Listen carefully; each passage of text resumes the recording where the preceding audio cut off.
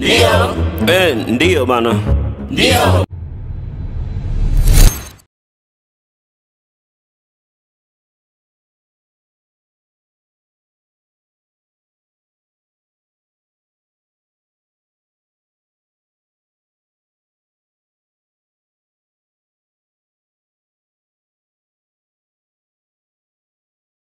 Kwa ni miezi, wiki, siku na hatimaye safari zimeanza rasmi kutoka Tanzania kuelekea China.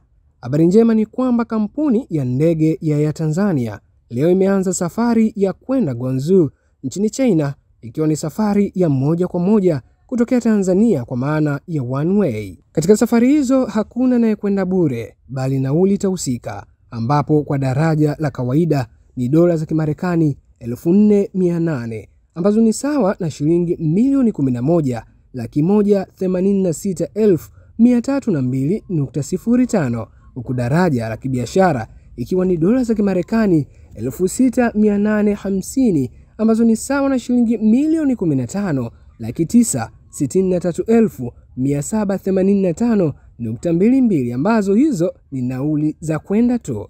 Katika taarifa yake ya hapo awali, ATCL ilibainisha kuwa tiketi hizo zitauzwa katika ofisi za Air Tanzania makao makuu, hivyo ATCL haitahusika na tiketi itakayonunuliwa kwa bei tofauti.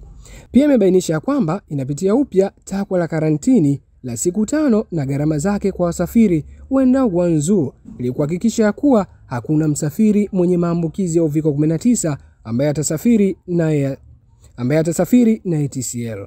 Hebu shuhudia hapa watu mbalimbali walivyojitokeza kuanza safari hiyo da Tugwanzo. Mchanganya video anaitwa Edwin TZA, mimi naitwa Mika Ndaba. Mambo hayo ya safari.